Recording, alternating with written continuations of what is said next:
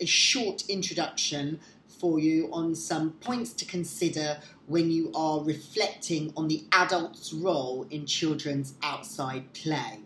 So, first of all, you have the age old cycle that all early years practitioners and play workers consider the plan, do, and review. So, identify a plan, plan what you're going to do in the outside area with children, and set up the resources. Make the outside environment inviting, engaging, and provide meaningful resources that the children can use, manipulate, and develop. And then do it. Go out with the children, play with the children, supervise their play, adapt the environment dynamically as you are um, with the children and um, observe observe the learning and the play that's taking part. And this observation will inform you of improvements that you can make to the environment other ways that you can plan and adapt the environment to support specific children or specific groups of children and the observation will also tell you what learning is taking place and how effective um, the environment that you've planned and set up um, is. And the review part is obviously then you reflecting on what happened in the garden, evaluating the learning, the setup, what went well, what didn't. Plan, re- do, review. That's really um, a key aspect of um, working in the outside space with children. Now, as part of your planning, you should consider how you can build on and extend children's current knowledge, their current skills, and also how you can build on and extend the interests of children. So, let me give you some examples. Um, superhero play, you could bring out costumes to the garden and create a superhero climbing den that they have to climb up and jump off of as different kinds of superheroes, um, for example. Um, extending their skills, that could be about um, balancing. So you could create lots of different types of balancing opportunities in the garden, um, and some more more um, hard or challenging um, than others. Um, as part of your planning, you should also consider choice and how children can be involved in choosing what they do in the garden and choosing how they use the resources that are on offer. While you're in the garden and supporting children, here's some of the things that you could be doing with them. Uh, first of all, talking about the play with them, talking about what's on offer, talking about how to use um, the play and how to engage in play in the garden. Um, validating children's efforts is a really important aspect of supporting outside play with children. So, um, telling them well done for things, but being specific, um, validating the choices that they're making, um, and uh, validating when they make achievements as well in the garden.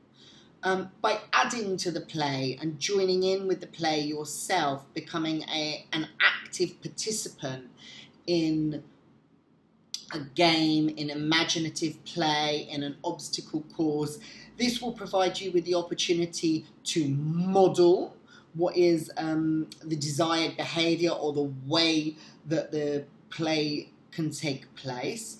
And also, part of your role is about preventing problems when you're in the garden by putting yourself in areas that support problem solving and also um, spotting and identifying when a problem is brewing and taking action, um, decisive action um, to deal with that. And that action might be the addition of resources, so children are not fighting over limited resources. It might be the um, using language or suggestions to provide different ideas or opportunities for children. Part of your role when you're in the garden is about developing relationships, building the relationships that you already have with children, um, entering the children's world, their world of play, um, scaffolding, the Vygotskian term of um, supporting children within their zone of proximal development. That's the distance between what they can do completely independently and what they can do with adult or more experienced peer support. That's the zone of proximal development. And by working with them in that zone of proximal development, you can um, support um, support their play through through scaffolding. Um, providing opportunities for children to initiate play as well. And a big part of your role is how you support challenging and risky play, not stopping children from um, engaging in risky play, but how you can encourage and support that. Um, helping children to negotiate with each other and negotiate in the outside space is a key part of your role. And role modeling, especially with inclusion, how to include children um, how to include others. But role modeling is, is definitely part of your role when you're working in the garden. Teaching children how to take care of the environment is also a major part of your role when you're working in the garden with children. Not just tidying up and organising the equipment and resources and taking care of them, but also deeper care of the environment, the care of the natural world, plants, trees, and also how to um, look after the resources more longer term as well. So, cleaning resources, repairing resources and equipment. Um, and also making as many links to the natural world when you're in the garden as you can. So that might be to the weather, that might be to living things, um, etc. Um, a part of your role is also about encouraging and supporting children, um, and that might be where they need help in engaging or trying out new things. And you can be the bridge for children to um, help them uh, climb, explore, um, and they might only be willing to do that with your help or your support. Um, just thinking also about gender bias, there is also a, a gender bias um, in play.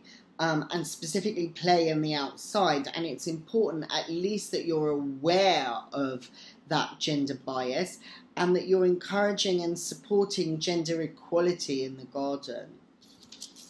Um, and finally, I just want to um, talk about the importance of leading versus supporting. There will be times in the garden where it's appropriate for you to lead and initiate play and play activities and um, learning activities.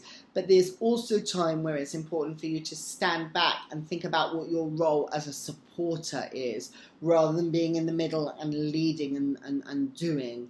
Um, and those are some of the things that we've discussed.